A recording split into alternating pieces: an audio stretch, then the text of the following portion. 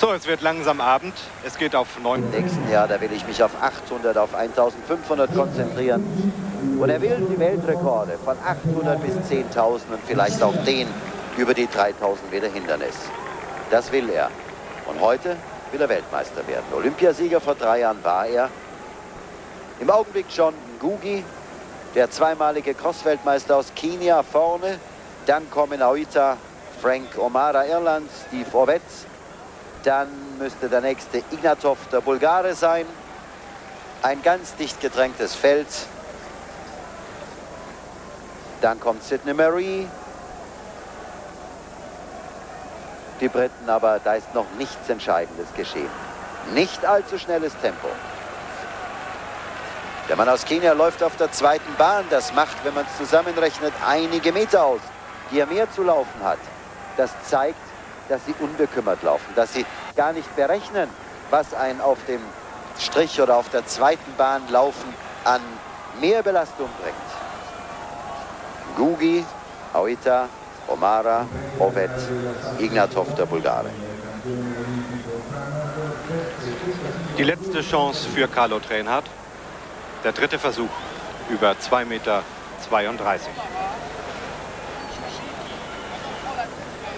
Sieben sind noch dabei. Da hat sich nun ein bisschen etwas getan, aber das Tempo ist nicht schnell.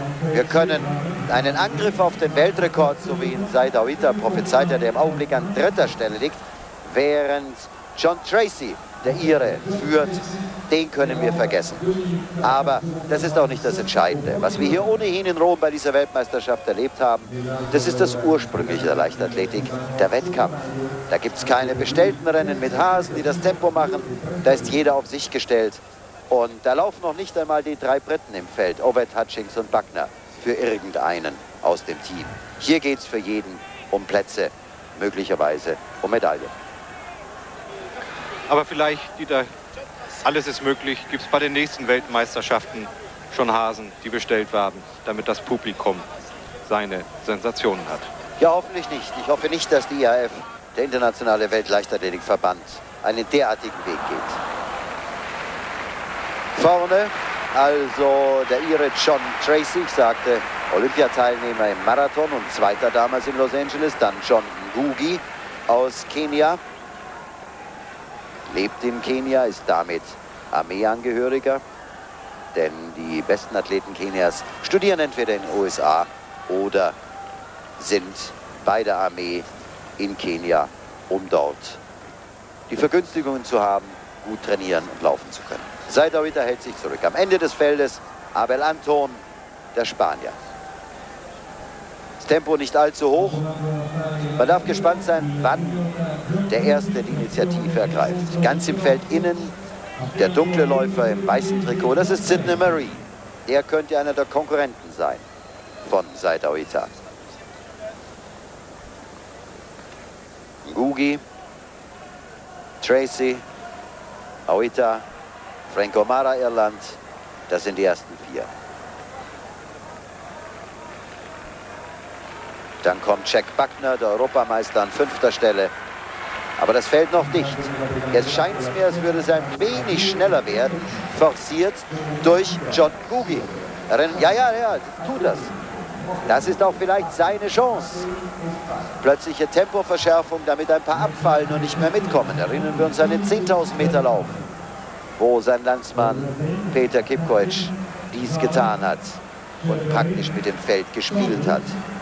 Aber hier kann man vielleicht mit allen spielen, nur mit einem nicht, mit Sadaoita, der Marokkaner an zweiter Stelle. Und Gogi läuft immer brav außen und damit ein paar Meter mehr.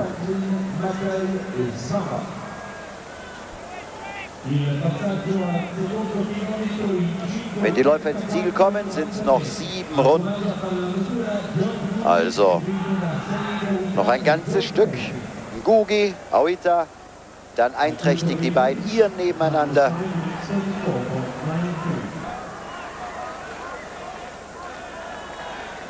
Jack Buckner, der britische Europameister, zuletzt gute Zeiten erzielt an vierter Stelle. Und jetzt verschärft Gugi wieder. Das ist exakt die Stelle, an der auch sein Landsmann und der 10.000 Meter Weltmeister dies immer getan hat. Aber Aoita geht mit und da versucht auch noch einer der beiden Iren, Franco Mara, mitzugehen. Jetzt wird es wieder langsamer. Im Grunde sind das ja schöne Rennen, wenn einer versucht, so taktisch etwas für sich zu entscheiden. Und was will er machen gegen den Wunderläufer Said Aouita aus Marokko? Also Temposteigerungen und vielleicht eine Schwäche nutzen. Aber kann die Aouita wirklich haben, eine Schwäche?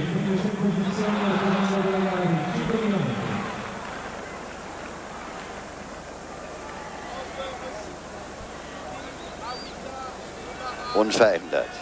Der Mann aus Kenia, auf der Tribüne sein Staatspräsident. Und sein Landsmann Bakiuru hat vorhin den Marathonlauf gewonnen. Das möchte er gern jetzt auch 5000 Meter Weltmeister werden. Awita dahinter, das Feld wieder herangekommen, das langsamer geworden ist. Mal sehen, ob er jetzt wieder beschleunigt. Ja, das tut er. Jetzt wird es wieder etwas schneller. Aber kein Problem natürlich für Said Awita. Said Awita, der Mann an zweiter Stelle, das ist ohnehin eine Karriere, vergleichbar einem Märchen aus Tausend und einer Nacht. Aus armen Verhältnissen, in Fez, er ist geboren in Kenitra am Rand des Atlasgebirges in Marokko. Die Eltern arme Verhältnisse. Er selbst hat das junge Melonen verkauft in den Gassen von Fez. Nach seinem Olympiasieg 1984 in Los Angeles da schenkt ihm sein König ein Haus in Casablanca, eine Traumvilla. Und von da an ging der Aufstieg unaufhaltsam weiter. Rechts innen sehen Sie ihn, den Mann im grünen Trikot, Said Aouita an zweiter Stelle, die 683 als Startnummer. Im Sommer lebt er in der Toskana in Italien, in Siena, mit Landsleuten und anderen Läufern. Und er ist der Mann, der die Laufstrecken zwischen 1500 und 5000 beherrscht, künftig vielleicht noch mehr. So, Gugi, Aouita, dann Ignatov der Bulgare, dann Omara Irland, Wagner Großbritannien, das sind die fünf vorne. Jetzt läuft er doch innen, John Gugi. Da kommt der eine der Castro-Brüder nach vorne, Domingos Castro.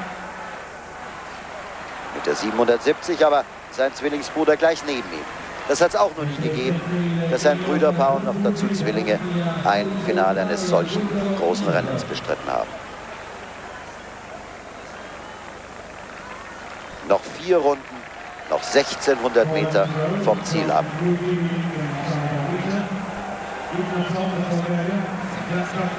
John Gugi. Er ist ein Kikuyu, die Nandis und die Kikuyus, die waren es bisher und sind es eigentlich immer noch in Kenia, die die Laufszene dort beherrschen. Der Masai, Billy Concella, der 800 Meter Weltmeister, kam hinzu. Langgezogen jetzt das Feld, immer noch angeführt von Gugi. Und ich bin gespannt, wann Saidawita antreten wird, um wegzugehen. Denn irgendwann wird er es versuchen, um nicht in der Endphase von anderen Sportlern überrascht zu werden. Seit heute wird wohl den langen Spurt wählen.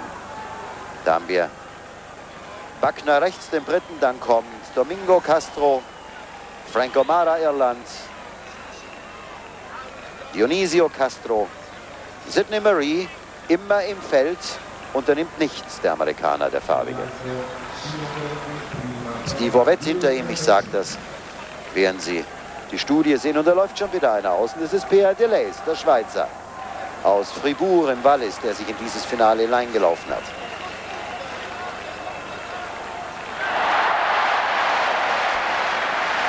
Unveränderte Situation. Nauita wartet ab. Gugi führt.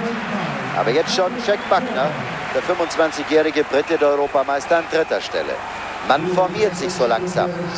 Dann Ignatov, Delays, der Schweizer, die beiden Castro-Brüder, dann kommen Franco Mara, Irland. Der Belgier Vincent Rousseau ist da noch dabei. Innen im weißen Trikot, kurz sichtbar. Lugi und Nauita. Also es kann schon brutal werden für den Mann aus Kenia. Da führt er die ganze Distanz, versucht's mit Zwischenspurts, mit Tempoverschärfungen und irgendwann werden sie ihn stehen lassen und überlaufen. Ich befürchte, dass es so kommt. Denn das sind Leute dabei, die kommen von der 1500 Meter Strecke, wie links im Bild der Schweizer Pierre Deleuze. Noch zwei Runden. Jetzt kommt langsam die entscheidende Phase. Wann setzt Aoita zum Sport an? Gugi, Aoita, dahinter Ignatov, Deleuze, Wagner, Castro, Rousseau, Belgien, der andere Castro-Bruder und Frank O'Mara. Und dann kommt noch Tim Hutchings, der Brite, dazu.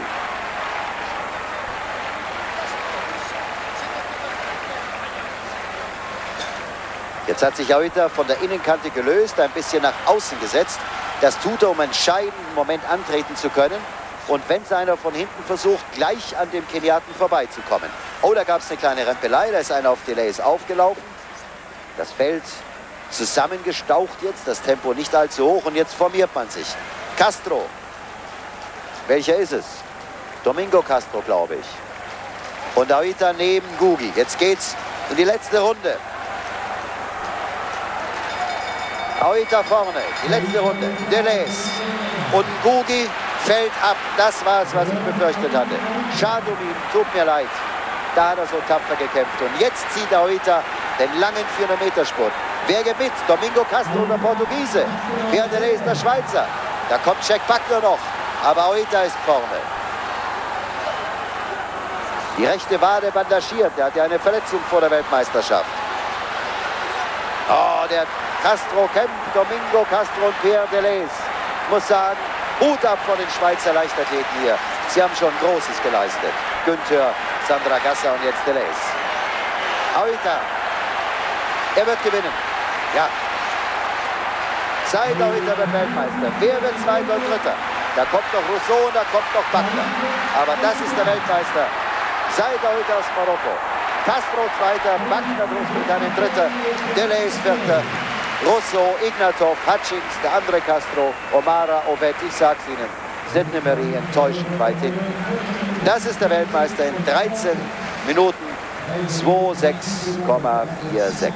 Said Aouita, der 26-jährige Marokkaner. Olympiasieg vor drei Jahren und nun Weltmeister. Tja, er ist Weltmeister, kann zu Recht stolz sein. Die große Leistung, der Weltrekord den hat er sich heute mit Sicherheit, das war Presseballyhu am Anfang, nicht vorgenommen. Aber sehen Sie mal, wie er am Ende davon zieht. Und wie Pierre Deleuze, der Schweizer, noch seinen dritten Platz verliert und knapp Vierter wird.